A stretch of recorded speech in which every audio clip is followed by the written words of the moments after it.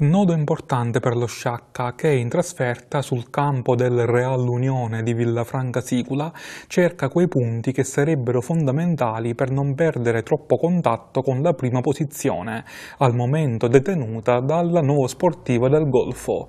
I Saccensi infatti hanno tre punti di ritardo rispetto alla capolista.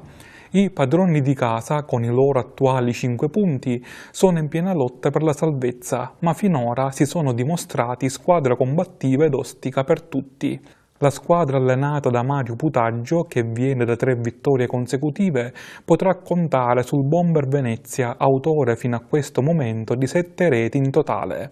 Nella classifica dei cannonieri è dietro soltanto a Davide Parisi del Don Bosco Partinico con 8 gol. Partita casalinga invece per il Ribera 1954 che al Nino Novara attende la visita del Carini, squadra che veleggia a metà classifica. Anche Crispini, a pari punti con lo Sciacca, sono piazzati al secondo posto e hanno tutta l'intenzione di tornare alla vittoria dopo il pareggio di domenica scorsa. I riberesi si presenteranno con alcune defezioni, frutto delle espulsioni subite durante la giornata di campionato precedente. Il Carini è squadra ben organizzata, ma il confronto è assolutamente alla portata dei padroni di casa. In promozione tutti i riflettori degli appassionati sono puntati sul big match tra Ares Menfi e Atletico Ribera, che si terrà domani pomeriggio al Comunale. La sfida nella sfida sarà anche quella tra i due centravanti, Galluzzo da una parte e Carovana dall'altra, autori entrambi di un brillante avvio di torneo.